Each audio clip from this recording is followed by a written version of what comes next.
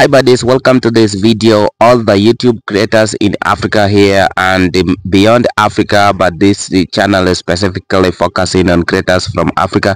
And in today's video i am gonna share with you something so amazing and something that you didn't know about one of the african youtubers that is trying to copy someone who lives outside africa. I want to bring it clear right now I need metal. Let's go. All right, let's go, boys. Oh, he's running. We're kicking this off with a sprint. All right. And the beginning begins with me waking up. Good morning, Oktoberfesters. Thanks if you have tuned into this video. Before you watch it fully, consider subscribing to this channel, like this video and share it. That will serve a purpose for the algorithm to push it to a larger audience. Thank you for doing that. You are great, buddy.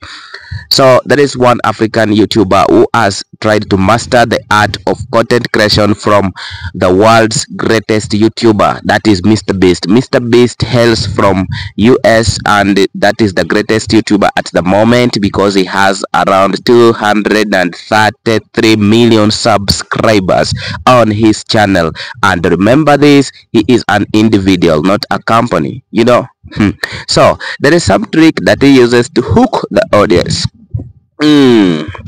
not what i'm trying to do there is some trick that mr beast has been used using to hook the audience and the audience don't know about this that they are being hooked to watch mr beast's mr beast's videos from the first second to the last second of it mr beast is a genius which trick does he use that's what i'm discussing right now and i tell you the content creator in africa who is trying to copy that Mr. Beast, Mr. Beast uses what we call the retention editing. If you have never heard about retention editing on YouTube, retention editing is a system whereby if you're editing your videos and they actually it starts from the time you are vlogging or filming your video you make sure you talk so loudly while shouting and people get interested you get the attention of the people by the way you are shouting and bringing up the content you're discussing with them. And after that you use a lot of transitions. These transitions will make the audience to keep on watching what comes next. So this one is basically used uh, by mr beast and it requires a lot of money and skill in most cases people who edit such videos are professional video editors who are damn expensive. But if you're doing your videos as a, an individual it might take you time to learn that art of video editing of putting transitions after very few seconds of the video. And these transitions keep on hooking up one part of the video to the next part of the video while you are shouting and catching up the attention of the people. If you have ever watched mr beast's videos you understand what i'm talking about. But if you haven't watched these videos you don't understand what i'm talking about. So there is one african youtuber who is doing this at the moment. So he is on the rise. He has less than 100,000 subscribers yet but if he continues using that trick he's gonna blow up on youtube like no one no, no one's business. This kind of editing takes time and in most cases people edit videos like this.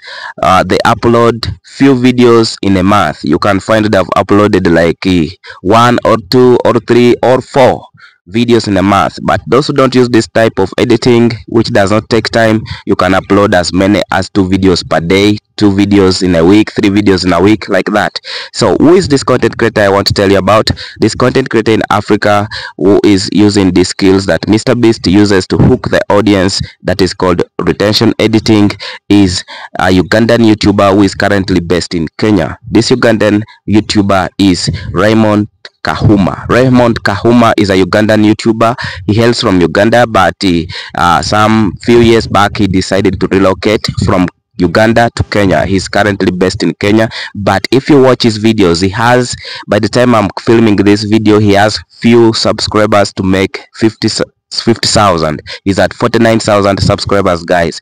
But his kind of editing videos and the way he films his video is hard to differentiate with the one of Mr. Beast. I don't know if Mr. Beast has been his inspiration or he has been copying Mr. Beast or he just did it as himself and it ended up matching the same style with Mr. Beast. That is what I don't understand. Maybe Raymond, you can clarify on this on the comment section if you have watched this video. Tell the crowd what is, if Mr. Beast was behind your inspiration to film videos like him. The shouting skill that Mr. Beast uses is exactly what Raymond uses, and the transition editing from one part of the video to another, which keeps the audience wanting to watch more. Just like Mr. Beast does, Raymond Kahuma does the same and this Raymond is gonna be one of the greatest YouTubers in Africa if he continues with this. Only that, because of that kind of editing, it limits you. It takes a lot of time. Sometimes you end up uploading two videos in a full month. You get it? But still, he is a creator on the rise to the top.